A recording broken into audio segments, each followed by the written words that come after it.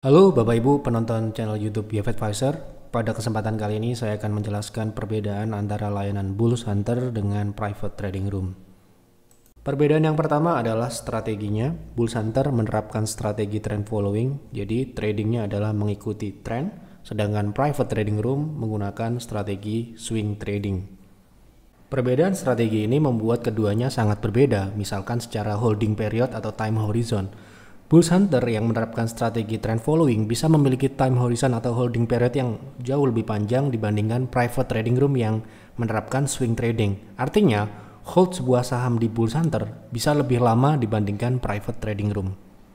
Dengan time horizon atau holding period yang berbeda ini, profile tradernya juga berbeda. Di private trading room dengan holding period yang lebih pendek, menuntut trader memiliki banyak waktu untuk memonitor sampai dengan mengeksekusi. Sedangkan Bulls Hunter cenderung bisa menoleransi keterbatasan waktu. Misalkan eksekusi bisa dilakukan saat pagi hari, saat sebelum pre-opening, kemudian bisa ditinggal beraktivitas yang lain. Nanti jam makan siang bisa dicek. Misalkan tidak ada waktu, sorenya dicek.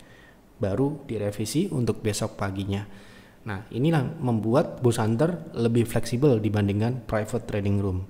Karena itulah intensitas transaksi di Bulls Hunter akan lebih rendah dibandingkan private trading room.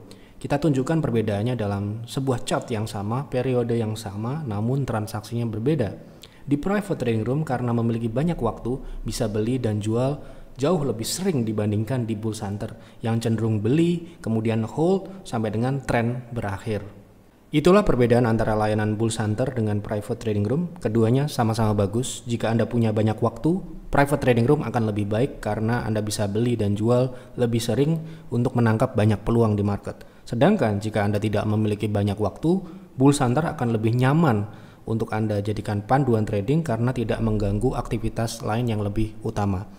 Apabila ada pertanyaan lagi terkait perbedaan dari kedua layanan tersebut, silahkan tulis di kolom komentar.